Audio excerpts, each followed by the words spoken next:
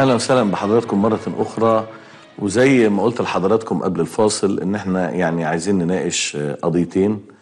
قضية الغاز آه، الروسي إلى أوروبا وحالة يعني ال- النقاش والجدل وربما الهلع التي تصيب الدول الأوروبية آه، من جراء تخفيض إمداد أوروبا بالغاز ال- الروسي. ثم نناقش بعد ذلك قضية عودة أو لا عودة ال- الرئيس دونالد ترامب. يعني لو وقفنا قدام موضوع الغاز آه، الروسي في أوروبا أولا الموضوع ده بيصار منذ بداية الحرب. يعني منذ بداية الحرب في أوكرانيا بيصار موضوع ال- الغاز ال- الروسي آه، أو إمدادات الغاز الروسي لأوروبا. والسبب أن أوروبا تعتمد على 40% من الغاز آه، الذي تستخدمه من روسيا. يعني روسيا تمد تمد أوروبا بحوالي 40% من احتياجاتها من الغاز وده رقم مش قليل. وهناك دول تعتمد عليه بالكامل أو تعتمد على 90 80% من احتياجاتها من الغاز على الغاز الروسي. إحنا بنتكلم على ألمانيا على وجه التحديد ودول أخرى أيضا. فطبعا آه، في حالة من حالات الهلع. وروسيا طبعا إزاء الموقف الأوروبي ال- العنيد تجاه روسيا والعقوبات التي تفرضها على آه، روسيا في أعقاب آه، غزو أوكرانيا. طبعا بدأت روسيا تستخدم آه، الغاز كأحد الوسائل ال- ال- التي يعني تلاعب بها أوروبا إن صح التعبير وتلاعب بها المعسكر الغربي الرافض للغزو أوكرانيا وأيضا الذي يمد أوكرانيا بالمال وبالسلاح وبالتدريب وبكل شيء. القصة باختصار إن إحنا عندنا خط اسمه نورد ستريم 1. نورد ستريم 1 ده اللي بيودي ال- الغاز من روسيا إلى آه، ألمانيا. تلت الغاز الروسي الموجه إلى أوروبا يأتي عن طريق هذا الخط. وألمانيا تعتمد عليه اعتمادا شديدا. آه، روسيا أعلنت إن هي يعني في شهر في منتصف شهر يوليو انها ستجري بعض ال- الأعمال الصيانة الفنية للخط ووقفت إمداد الغاز.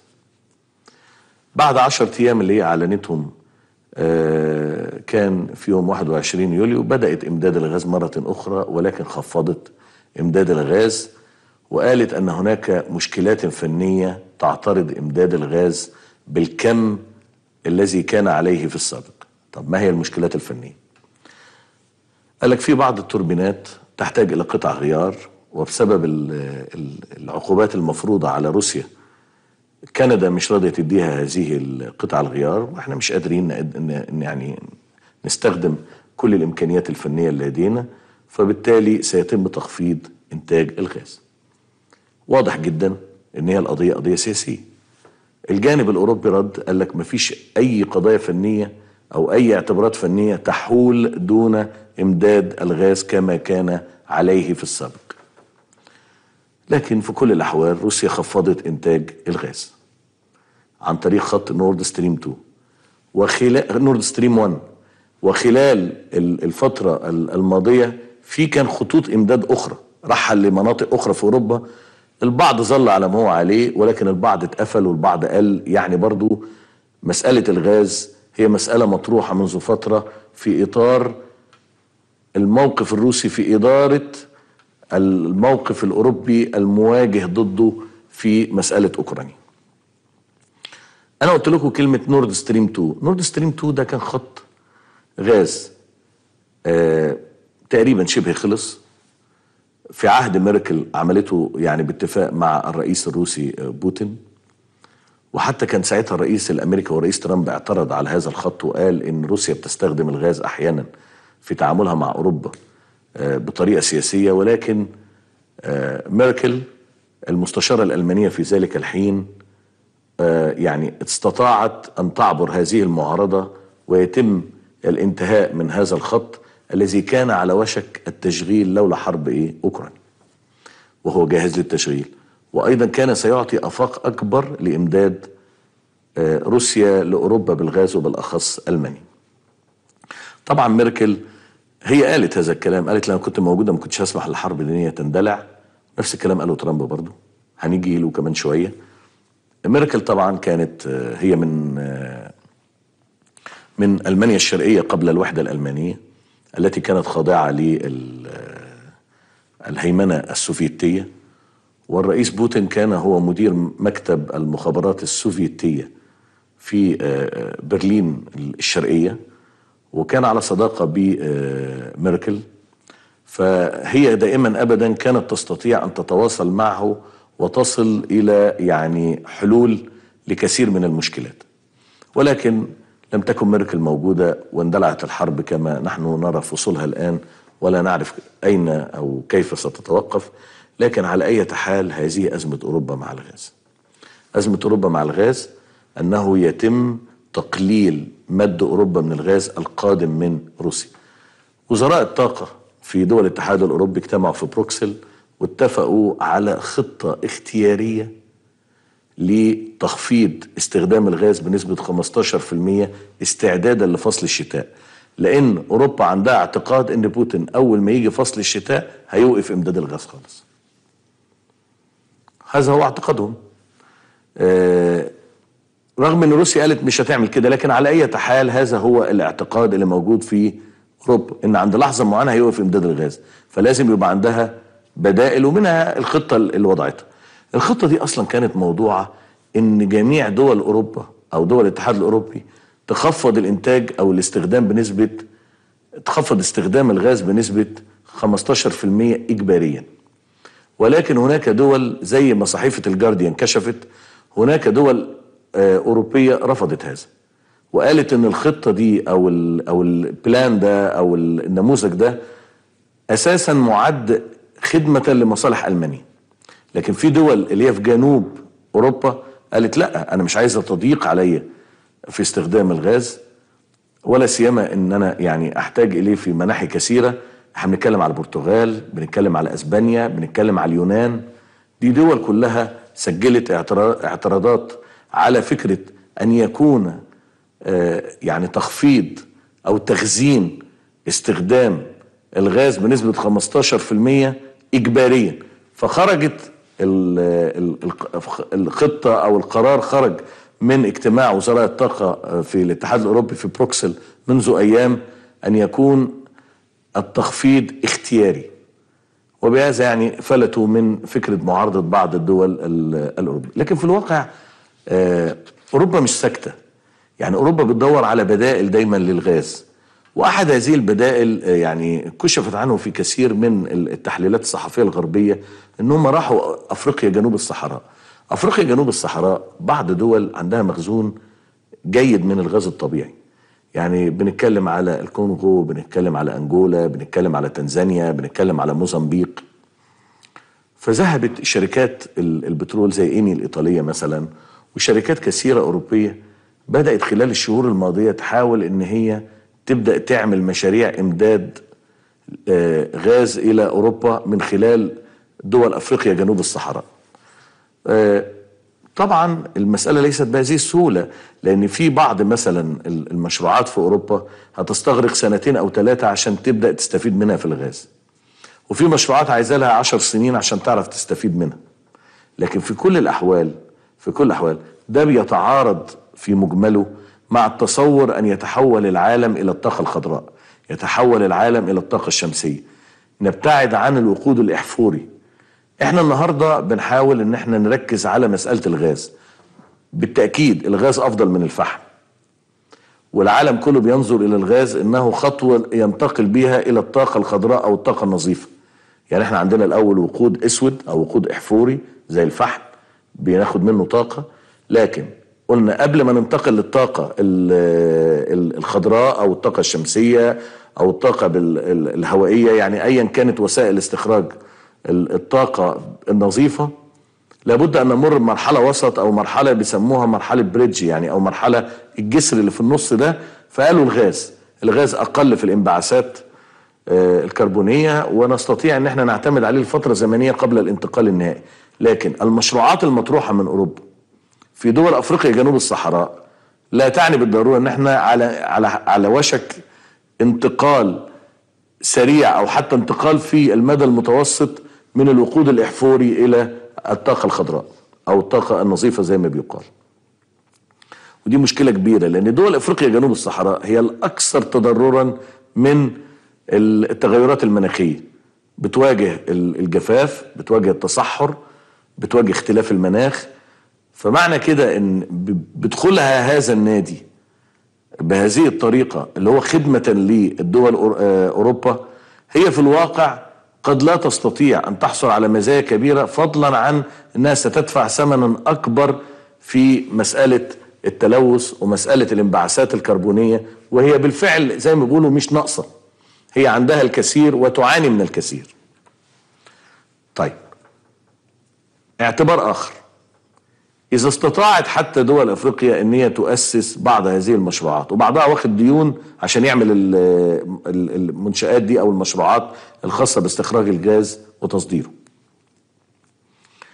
النهارده الغاز ثمنه غالي لظروف الأزمة اللي موجودة داخل المجتمعات الأوروبية والعالم كله. لكن عندما يأتي الوقت الذي تستفيد منه دول أفريقيا من الغاز قد ينخفض سعره. أو لا تستطيع أن تجاري دول أخرى في تصدير الغاز بتكلفة معينة لأن في دول تستطيع أن تنتجه وتصدره بتكلفة أقل زي الولايات المتحدة وقطر مثلا. لديها البنية الأساسية لهذا. في حين دول أفريقيا جنوب الصحراء عندما يأتي الوقت الذي يعني تستفيد به من مخزون الغاز الذي لديها في في باطنها في باطن الأرض قد لا تستطيع إن هي تستفيد به بدرجة كبيرة نظرا للتنافس اللي هيكون في ذلك الوقت. وربما بعد عشر سنين يكون التحول أكثر للطاقة النظيفة ربما لا يكون الطلب على الغاز يقل يعني ايا كانت المستجدات والأوضاع بعد عشر سنين. أنا بس حبيت أقول إن فكرة أن أوروبا بالفعل تواجه أزمة. والأزمة دي ناجمة عن اعتمادها الكثيف على الغاز الروسي. وروسيا تستخدم الغاز كورقة سياسية زي ما قال يعني رئيس أوكرانيا زيلينسكي قال له ده ده بيستخدم الغاز يعني إعلان حرب الغاز هو استخدم المصطلح ده يعني. ولا بد من مزيد من العقوبات آه، تفرض على روسيا.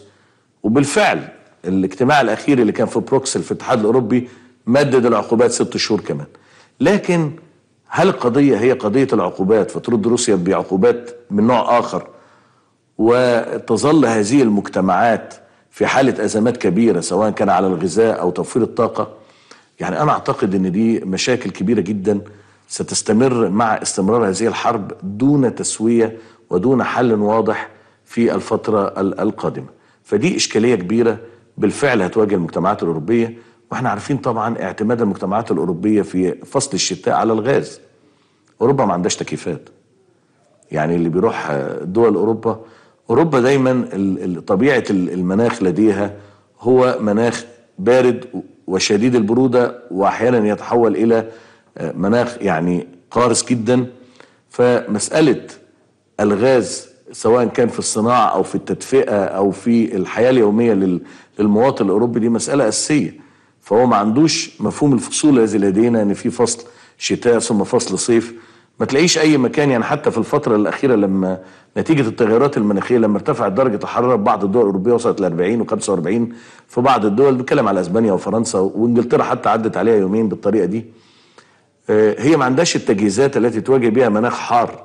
هي دائما ابدا لديها التجهيزات داخل المنزل لمواجهة المناخ البارد وشديد البروده زي مسألة الهيتنج أو أو التدفئة عن طريق الغاز. فدي طبعا مسألة كبيرة وهي متحسبة جدا.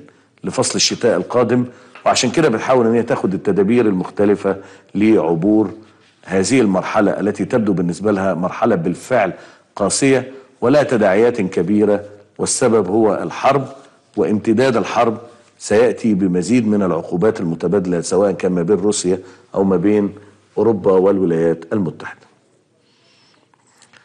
ده ربما بيحملنا إلى نقاش موجود آه، أو امتد إلى الإعلام الغربي في الفترة الأخيرة هو الرئيس الأمريكي السابق دونالد ترامب.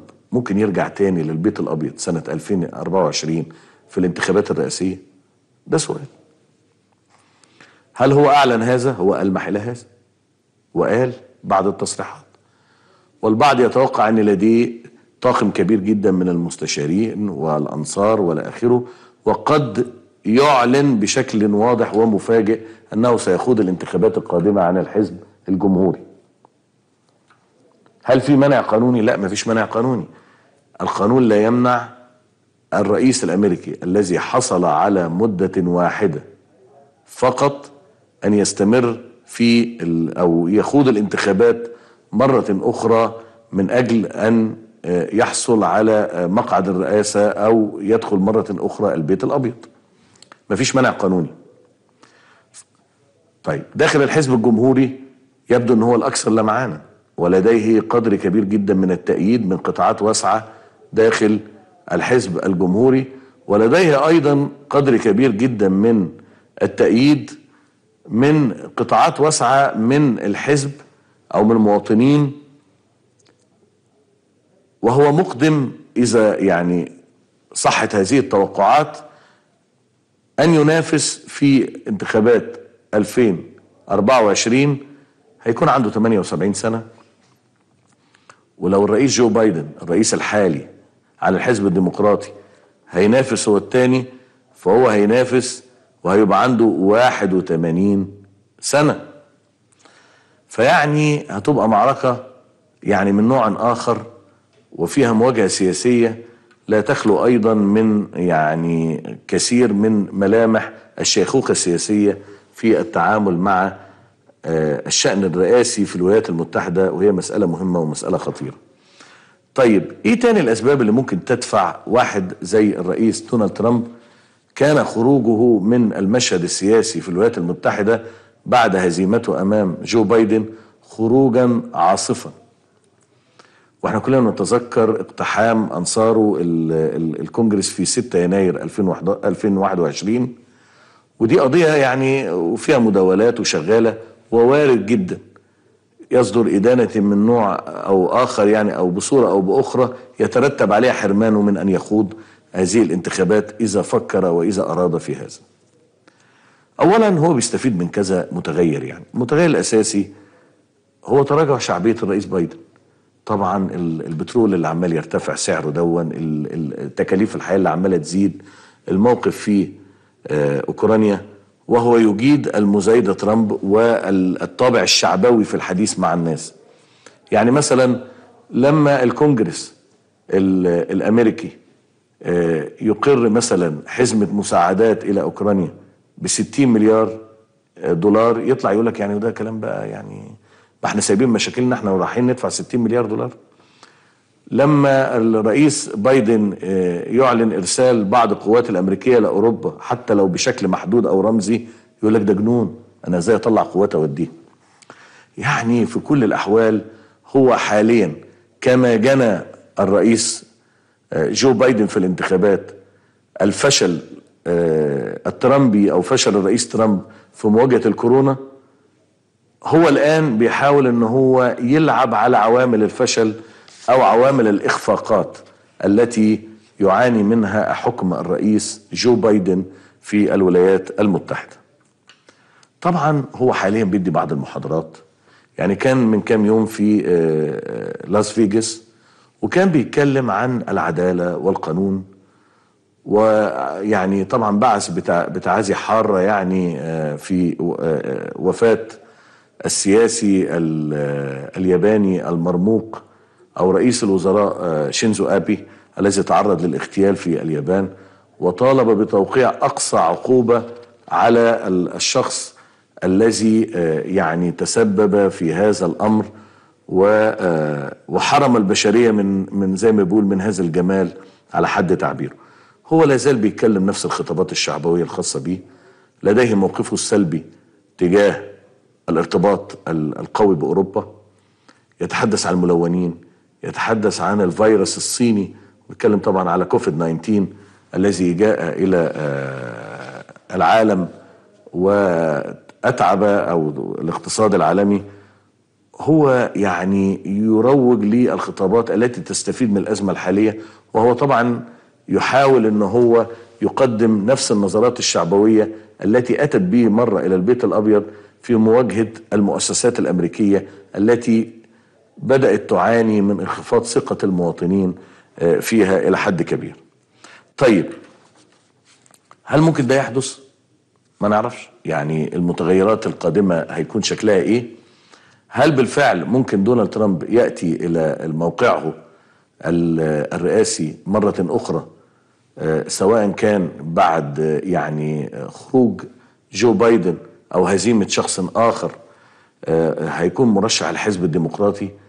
دي كلها أمور أعتقد إنها لسه يعني من المبكر التفكير فيها.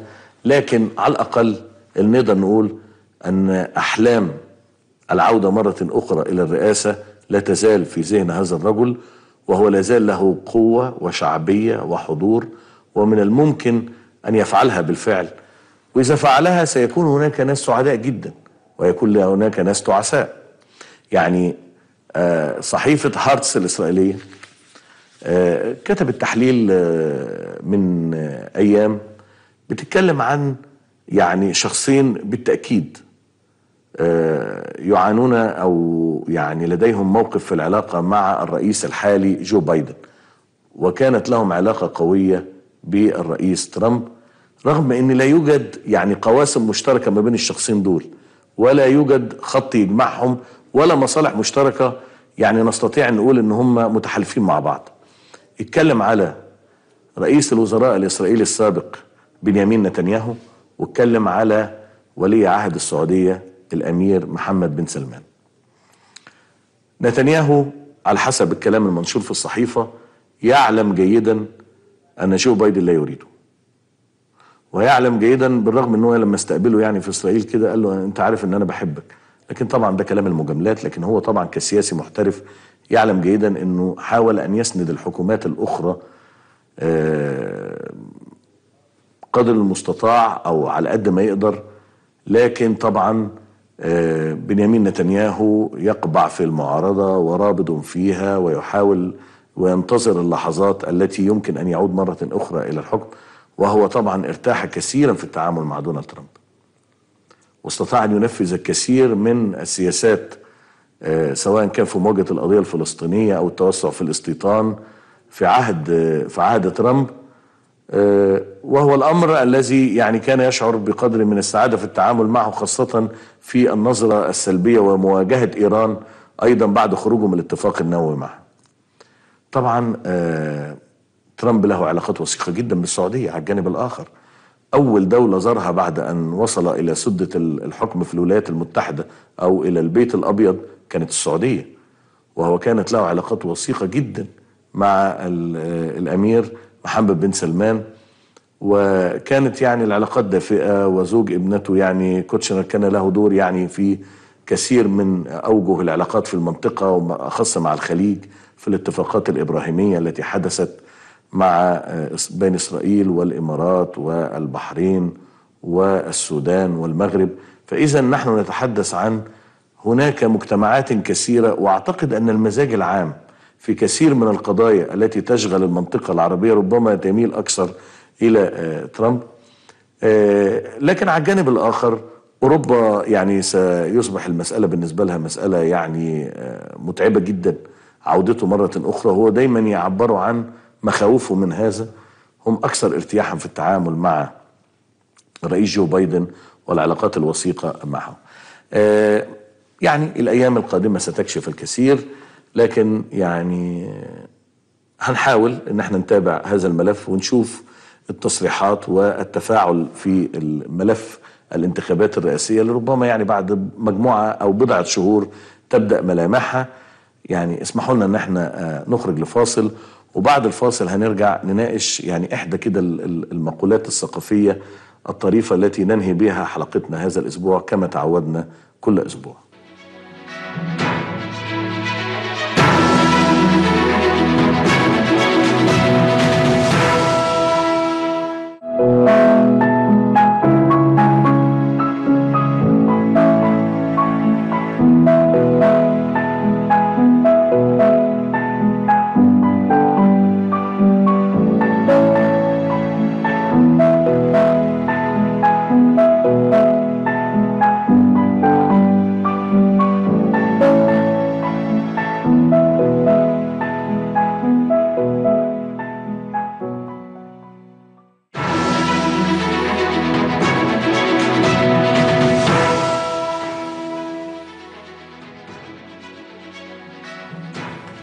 أهلا وسهلا بحضراتكم في ختام آه، هذه الحلقة.